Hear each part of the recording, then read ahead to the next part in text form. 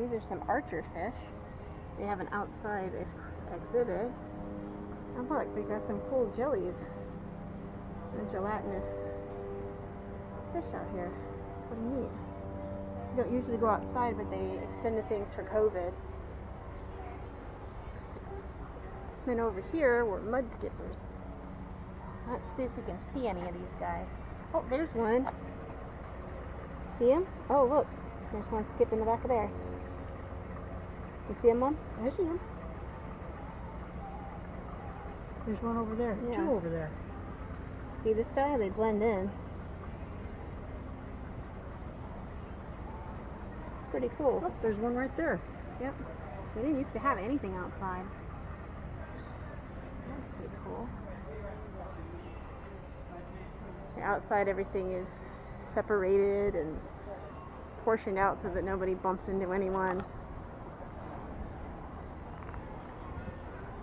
We did do the lorikeet exhibit, but sorry, no footage. Just some pictures.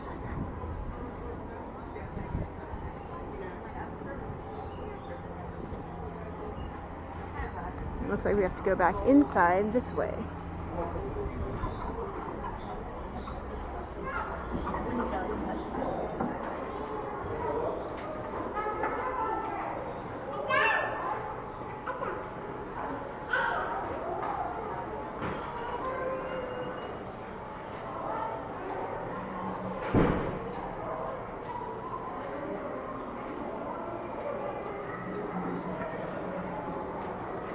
This is the main hall.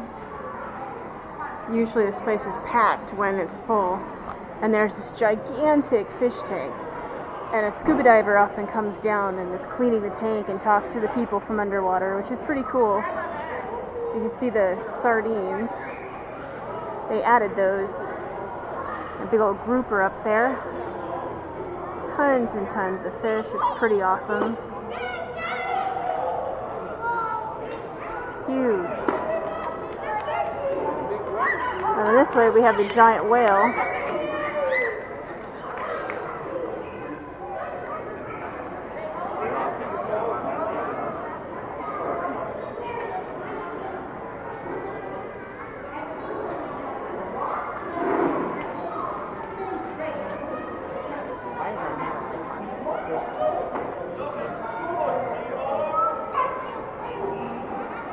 They have a little cafe, but it's kind of pricey here. Best to bring your own food from home or go somewhere else. Oh, there's a little alcove here. I keep forgetting.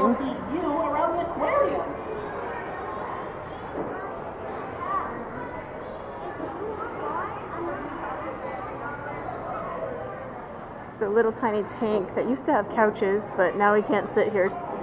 So we can walk through and enjoy them. Sorry, guys, I couldn't do the tide pools upstairs. The lighting was just pretty bad. But this is simulating a tide as well. Not as rough as the upstairs one, but still pretty cool. Neat assortment of fish and sea anemones. So, it's pretty neat. Oh, it looks like they're upping the wave right there. So. Oh, is he dead? No. No, he's just like, I'm I'm just gonna lay here, no one loves me. I am sad and forlorn. It's okay, you're still awesome.